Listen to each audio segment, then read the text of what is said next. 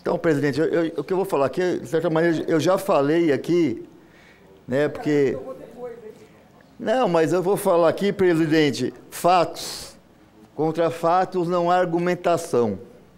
O fato é que quando, né, é, em primeira instância, lá um juiz falou que o jornal né, distribuído pelo PSOL e pelo PT não poderia ser distribuído, porque falavam da gestão do Ricardo Nunes, vieram vereadores aqui, massacraram aqui o PSOL e o PT. Agora o juiz liberou, falou, não, né?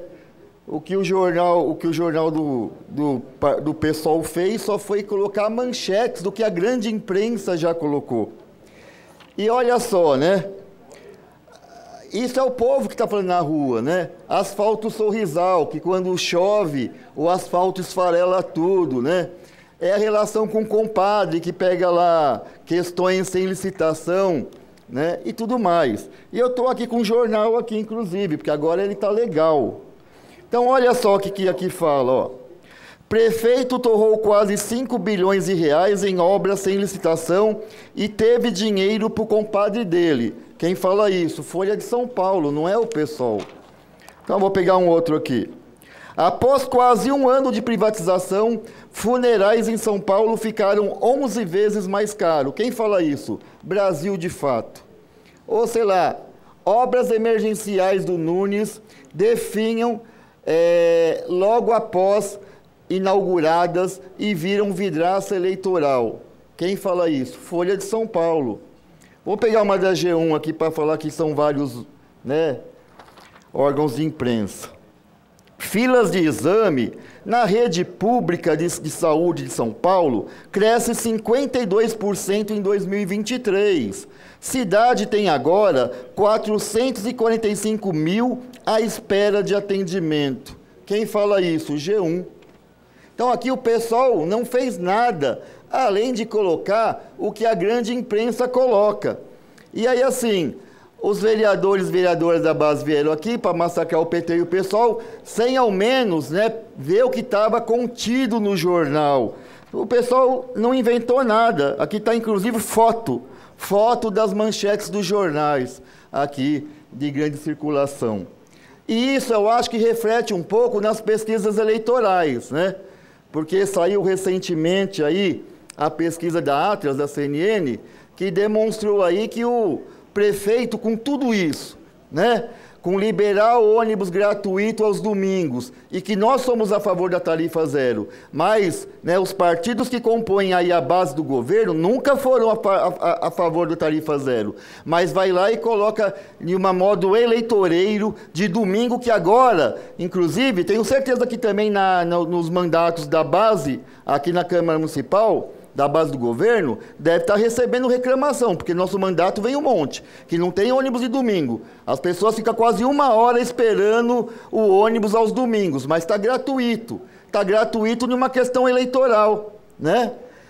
Quer dizer, aí é ônibus gratuito de domingo, faz um monte de asfalto sorrisal, um monte de obra que as pessoas não conseguem chegar em casa mais com uma hora e meia de, de no transporte, porque as pontes hoje a boas partes delas estão em obras, porque foi feito tudo de uma vez, porque não tem planejamento, porque se tivesse planejamento, é, teria de fazer isso escalonado durante a gestão do Ricardo Nunes. Não, mas faz tudo de uma vez, quer perder a eleição, para o pessoal ver obra. Né? Só que aí, ó, as pesquisas dizem o quê aqui agora, ó? 57% dos paulistanos reprovam, reprovam a gestão Ricardo Nunes, 57%. Então, tudo que o Ricardo Nunes fez de forma eleitoreira, porque no começo dessa gestão não tinha obra nenhuma, agora está pagando o preço porque o povo não é bobo.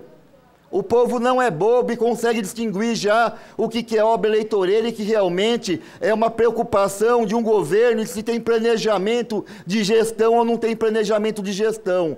Aqui foi falado até pelo vereador aqui, que me antecedeu, que eu tenho maior apreço por ele, né? O vereador aqui do Novo, falou assim, poxa, é, a gente poderia ter mais investimentos né, em determinados projetos, porque isso salva vidas. Não, mas você tem bilhões e bilhões e bilhões né, em esquemas né, de é, obras sem licitação, mas você não tem dinheiro para se colocar em projetos que realmente salvam as pessoas. Então, isso aí é uma opção de governo, né? Uma opção de governo. E os esquemas não acabam por aí. Eu vou acabar de falar, presidente, que já passou meu tempo, mas aí, uma hora a casa cai, né? E não adianta falar de meio ambiente à medida que o prefeito vai lá e tem, e tem lugar né, é, de ocupação em área de preservação ambiental, como saiu agora, e que ali vai sair muito esquema, porque é, tem até assessor dele que está envolvido aí, né? E envolvido, inclusive, inclusive, olha como que é a, a situação, né? Inclusive, de ter empresa que presta serviço para terceirizada, mas, poxa, empresa do, do governo para ir fazer serviço em seis, em seis que é terceirizada, sendo que a seis terceirizada recebe dinheiro do governo e a empresa do próprio prefeito vai prestar vai prestar serviço para essas empresas, porque não tem licitação essas Concluindo, tipo vereador, né, por favor. O, o, o, o, presidente da OSC escolhe a empresa que vai fazer. Então parece que o prefeito também é muito bem relacionado, né? Porque ele está prestando bastante serviço para esse tipo de empresa. A mamata e a corrupção vai acabar. Em outubro está aí.